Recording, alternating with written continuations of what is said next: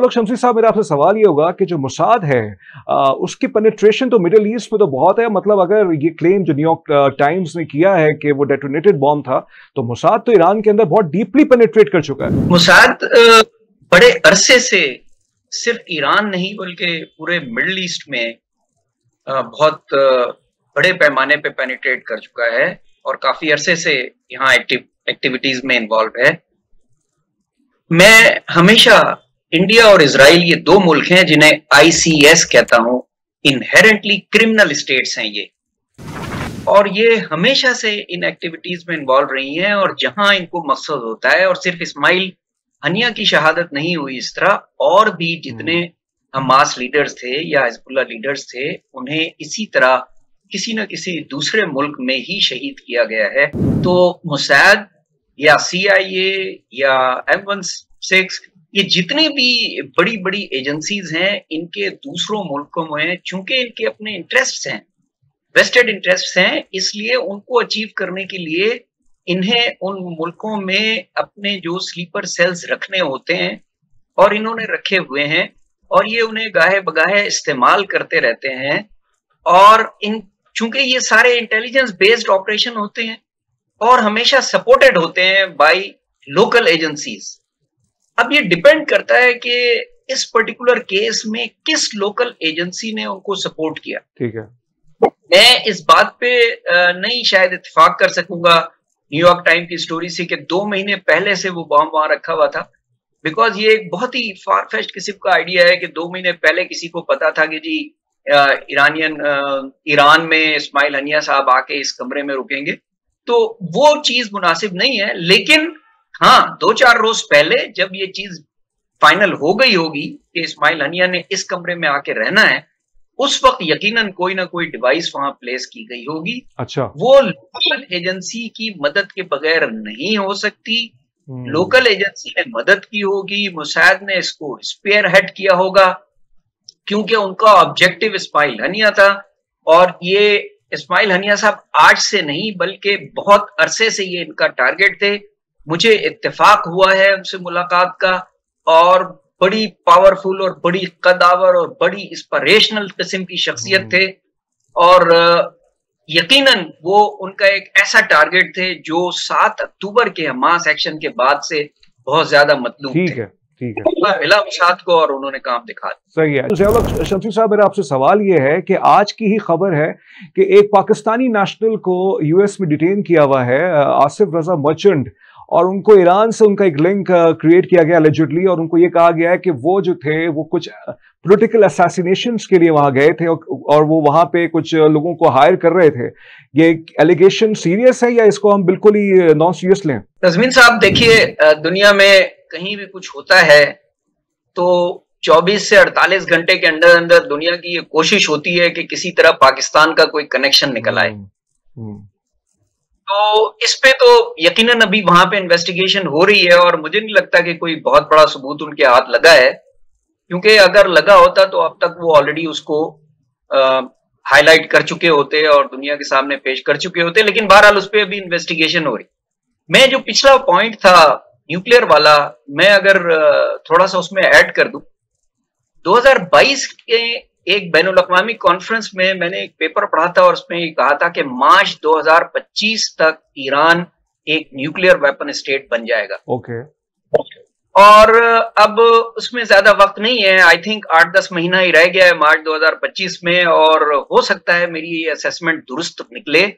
تو اس لحاظ سے بھی اسرائیل پہ اس وقت یہ چیز لازم ہے کہ وہ مارچ دو ہزار پچیس سے پہلے پہلے کسی بھی طرح کسی بھی بہانے سے ایران پہ حملہ کر کے اس کی نیوکلئر فیسلٹیز کو کسی طرح ڈس آرم یا ڈسمینٹل یا ڈسٹروائے کر سکے ٹو دیٹ ایکسٹینٹ اور جیسے کہ لانی صاحب نے فرمایا کہ ان کی بڑی اچھی پروٹیکٹڈ قسم کی نیچرل گراؤنڈ میں پروٹیکٹڈ قسم کی فیسلٹیز ہیں۔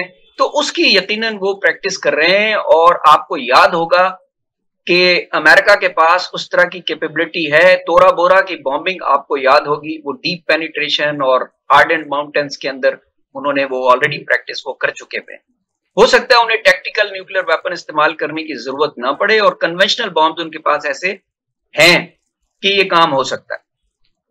دوسرا، اس میں بھی میرے جو دوسرے دو ایکسپرٹس ہیں، زیادہ بہتر کمنٹ کر سکیں گے کہ اسماعیل ہنیا کوئی نیا ٹارگٹ نہیں تھے اسرائیل کے وہ رہائش پذیر ہیں قطر میں اور بڑے عرصے سے وہاں پر ہیں لیکن آپ غور کریں کہ ان کو قطر میں نہیں مارا گیا قطر میں نہیں ٹارگٹ کیا گیا۔ بالکل بالکل۔ خاص طور پہ ایران میں جب وہ آئے ہیں تو ان کو ٹارگٹ کیا گیا ہے۔ اور وہ اسٹیٹ گیسٹ تھے اور ایران کی ذمہ داری تھی ان کو پروٹیکٹ کرنا خواہ چاہے کچھ بھی ہوتا۔ تو اس چیز کو بھی میں سمجھتا ہوں اگر آپ ظفر العالی صاحب سے یہ سوال کریں گے تو وہ ضرور اس پہ روشنی ڈالیں گے کہ آخر کیا وجہ ہے کہ جو شخص جہاں رہتا ہے اور اتنے سالوں سے رہتا ہے اسے وہاں ٹارگٹ نہیں کیا گیا اسے وہاں لا کے ٹارگٹ کیا گیا ہے جہاں پہ کوئی مقصد ہے۔ اسرائیل کا بھی اور امریکہ کا نہیں وہ مقصد ہمیں اس دن واضح ہو گیا تھا کہ جب نیتن یاہو امریکن کانگریس سے خطاب کرتے ہوئے کہہ رہے تھے کہ ایران جو ہے وہ سیکٹیرینزم پھیلانا چاہ رہا ہے اور سیکٹیرین فالٹ لائنز کو جاگر کرنا چاہ رہا ہے۔ تو میرے خیال سے جو تیران میں جو انہوں نے اٹیک کیا جیسے my assessment I can be wrong ایک تیر سے دو نشان کا مطلب کرنے کی کوشش کی کہ دو نشانات اوبیسلی سیکٹیرین فالٹ لائنز جی جی جی۔ آپ صحیح جی۔ فرما رہے ہیں۔ میں نے اسی لیے اس پوائنٹ کو ہائی لائٹ کیا ہے جو اب تک ابھی پروگرام میں نہیں ہائی لائٹ ہوا تھا کہ انہیں ایک بہانہ چاہیے تھا۔ جی جی جی۔ اسرائیل بہانہ تلاش کرتا نہیں ہے لیکن ایران چونکہ کوئی بہت ہی معمولی ریاست نہیں ہے یا معمولی فورس نہیں ہے اس لیے انہوں نے ایران کا بہانہ تلاش کیا۔ اور دوسری سب سے بڑی بات یہ ہوتی ہے کہ ایران کو صرف یو ایس کی سپورٹ نہیں چاہیے ہوتی ہے بلکہ یو ایس لیڈ پورے ویسٹرن ورلڈ کی سپورٹ چاہیے ہوتی ہے۔ اور پھر اسے مسلم اما میں بھی کچھ ایسے ممالک ہیں جنہیں اس بات پہ تیار کرنا ہوتا ہے کہ اسرائیل کسی دوسرے مسلم ملک پہ جو حملہ کرنے جا رہا ہے تو وہاں سے آوازیں نہ اٹھیں کیونکہ اسرائیل کے ارد گرد تمام اسلامی ممالک ہیں۔ ٹھیک ہے، بہت آپ نے انٹرسٹنگ سوالات اٹھائے۔ ضیاء شمسی صاحب، چین اور روس اس میں کیا کردار ادا کر سکتے ہیں؟ کچھ بیانات آ رہے ہیں۔ چین اور روس کہہ رہے ہیں کہ آپ ایک لمیٹڈ کیلکولیٹر سٹیپ اٹھائیں ایران کو، وہ کہہ رہے ہیں، اور سویلین کیجولٹیز نہیں ہونی چاہیے۔ اب یہ کیا سگنلنگ کر رہا ہے کہ چین اور روس بھی یہ چاہ رہا ہے کہ معاملہ ڈیفیوز ہو؟ کیونکہ اگر ایران اس جنگ میں جاتا ہے، بظاہر جو ہمیں نظر آ رہا ہے، تو چین اور روس کی بھی ایک حد تک کی سپورٹ ہمیں نظر آ رہی ہے۔ پھر آپ صحیح فرما رہے ہیں۔ چین اور روس کو اسٹڈی کرنے سے پہلے حمزہ رفت صاحب کی بات سے اتفاق کروں گا کہ او آئی سی کے جو ممالک ہیں وہ اس وقت انتہائی زبردست طریقے سے اپنے اپنے رجیمز کے انٹرسٹ کو گارڈ کر رہے ہیں۔ انہیں اس چیز سے کچھ لینا دینا نہیں ہے کہ فلسطین میں بچے شہید ہو رہے ہیں یا عورتوں کے بالوں سے بارود کی بدبو آ رہی ہے۔ اسپتال ختم ہو چکے ہیں ڈاکٹر نہیں ہیں۔ اسکول ختم ہو چکے ہیں اور اگر اسکول کی کوئی بلڈنگ بچ بھی گئی ہے تو وہاں پہ کوئی طالب علم موجود نہیں ہے کوئی زندہ نہیں بچا سب شہید ہو گئے اب آ جائیں روس اور چین کی طرف۔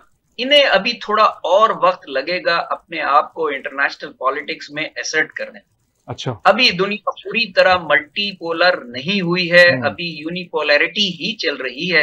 اور اسی لیے امریکہ جلدی میں ہے ظاہر ہے اسرائیل جلدی میں ہے کہ دو ہزار پچیس مارچ سے پہلے پہلے جب ایران شاید نیوکلیر ہو جائے میرے حساب سے کہ اس سے پہلے پہلے ہم ایران کا بندوبست کر لیں کیونکہ ایک بار ایران نیوکلیر ہو گیا اور دوسری طرف چائنا اور رشیا افیکٹو ہو گئے اور ڈی ڈالرائزیشن کا پروسیس اگر تھرٹی پرسینٹ کو کراس کر گیا اس کے بعد یہ بات پھر امریکہ کے ہاتھوں سے نکل جائے گی۔ اور اسرائیل کے ہاتھوں سے بھی پھر نکل جائے گی۔ وہ کہ اسرائیل کے پاس اتنی طاقت ہے کہ وہ اپنا دفاع کر سکتا ہے، لیکن پھر وہ اتنا اوفینسو نہیں رہ جائے گا اس ریجن میں اگر امریکہ کی طاقت اس سے چلی جاتی ہے۔ اسی لیے ان کی پوری کوشش ہو رہی ہے کہ اس سے پہلے کہ برکس اور ایس سی او اور جو گلوبل ساؤتھ کا کانسیپٹ ہے، جس کو چائنا لیڈ کر رہا ہے، وہ چیزیں افیکٹو ہوں اور ڈالر مارکیٹ ختم ہو اور امریکہ کا انفلوئنس کم ہو، کیونکہ امریکہ کی موجودہ ہی حکومت تاریخ بائیڈن گورنمنٹ کو یا بائیڈن ایڈمنسٹریشن کو شاید کمزور ترین ایڈمنسٹریشن کے طور پہ دیکھے گی۔ کیونکہ بائیڈن اپنے چار سالہ دور میں جو کہ ابھی تقریباً تین چار مہینے رہتے ہیں، اس عرصے کے دوران نہ وہ رشیا کو ڈٹر کر سکے کہ وہ یوکرین پہ حملہ کرے۔ نہ وہ رشیا کو ڈیٹر کر سکے کہ وہ نارتھ کوریا کو وزٹ کر کے اس کے ساتھ اور زیادہ اسٹریٹجک ریلیشن شپ بڑھائے۔ نہ وہ چائنا کو ڈیٹر کر سکے کہ وہ رائزنگ پاور کے طور پہ چیلنجر بنے۔ اور نہ وہ اسرائیل کو یہ سمجھانے میں کامیاب ہوئے ہیں کہ غزہ میں اب جنگ بندی ہونی چاہیے اور عورتوں اور بچوں پہ ظلم ختم ہونا چاہیے۔ آل دو آئی سے جے اب بہت قریب ہے اپنے کسی فیصلے پہ۔ لیکن او آئی سی کا میں یقیناً حمزہ صاحب کی تائید کروں گا کہ ہمیں کسی قسم کی کوئی امید آئی سی جے نے اسپائن دکھائی ہے اور آئی سی جے نے نیتنیاہو کو کرمنل قرار دیا ہے اور آپ نے بہت اچھا اکانومک پیراڈائم میں جو چیزیں سمجھائیں گے یہ بھی ایک انٹرسٹنگ چیزیں ہیں۔ زیولک شمسی صاحب آپ کچھ اس پہ کامنٹ کریں گے پیلسٹائن کے جو معاملات ہیں اسی طرح کے ہی رہیں گے انفارچونیٹلی دیکھیں really pains me to say that کہ um, ایسا ہی ہوگا اور اللہ نہ کرے کہ بہت عرصے تک ایسا ہو۔ لیکن تاریخ یہ بتاتی ہے کہ یہودیوں نے ہمیشہ اپنی ذہنیت اور چالاکیوں سے کرسچنس کو اور مسلمانوں کو لڑایا ہے۔ وہ خود براہ راست کبھی نہیں لڑتے۔ اور آج بھی جو کچھ ہو رہا ہے، گنتی کے کچھ ہوا باز ہیں یا کچھ فوجی ہیں جو یہودی ہیں باقی ساری جنگ جو ہے وہ کرسچنس کی کے اسلحے پہ مسلمانوں کے خلاف ہو رہی ہے اور یہ تاریخ بھی یہی کہتی ہے اور آج بھی یہی ہو رہا ہے۔ یہ بڑی بدقسمتی کی بات ہے کہ مسلمان شاید اس وقت بھی خاموش تھا اور آج بھی خاموش ہے اور ہر ملک اس وقت جتنے بھی ملک اس وقت اسرائیل کے ارد گرد ہیں مسلمان ملک ہیں سارے اور ان کی تمام حکومتیں آپ دیکھیں کتنا بڑا کانفلکٹ ہے عوام میں اور ریجیمز میں یعنی تمام اسلامی ممالک میں تمام U S led western world کی عوام کچھ ایک طرح سوچتی ہے اس کے دل میں انتہائی نرم گوشہ ہے اپنے فلسطینیوں کے لیے۔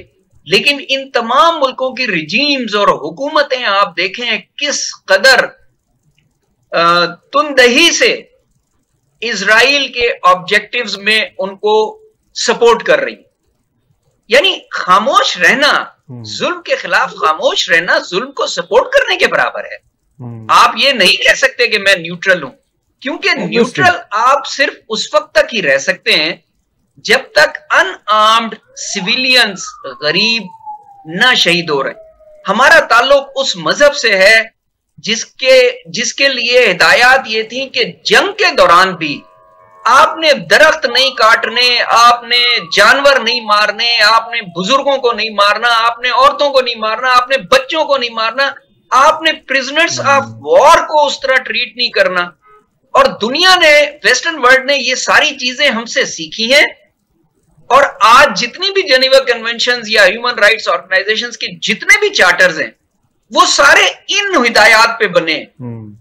وہ سارے کے سارے جو ہے اسلام نے جو ہدایات دی تھی جنگوں میں کہ اپنے اپنے کمانڈرز کو کہ آپ نے کمانڈ کے دوران یا جنگ کے دوران اس طرح فالو کرنا ہے جی، جی۔ ان سب کو فالو کر کے U S led western world کہاں سے کہاں پہنچ گیا اور ہمارے جتنے بھی اما کے ملک ہیں اگر ہم اما کہہ رہے ہیں تو وہ تمام کے تمام صرف اپنی پبلک اوپینین کو ڈس ریگارڈ کر کے اپنے ریجیمز کو پروٹیکٹ کر رہے ہیں کیونکہ اسرائیل انہیں باقاعدہ دھمکی دیتا ہے ٹھیک ہے۔ کہ اگر غزہ میں یا رفا میں فلسطینیوں کی مدد کے لیے آنے کی کوشش کی تو اگلا نشانہ تم ہوگے اور ہم فوراً دبک کے بیٹھ جاتے ہیں۔ یہ بڑی بدقسمتی کی بات ہے۔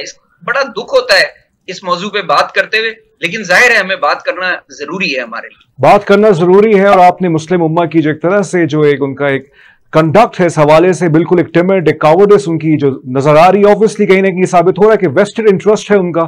اس کو پروٹیکٹ کرنا چاہ رہے ہیں. پھر آپ نے عوام کی بات کی. امریکہ میں ہم نے پروٹیسٹ دیکھتے ہیں. یو کے میں ہم پروٹیسٹ دیکھتے ہیں آرگینک پروٹیسٹ ہے. لوگ فلسطینیوں کے لیے آواز اٹھاتے ہیں. لیکن جو ان کی ریجیمز ہیں، وہ پتہ نہیں کیا کیا اسرائیل کے پاس ایسی طاقت ہے کہ جو وہ مجبور نہیں کر پاتے اسرائیل کو کہ یہ سب روکے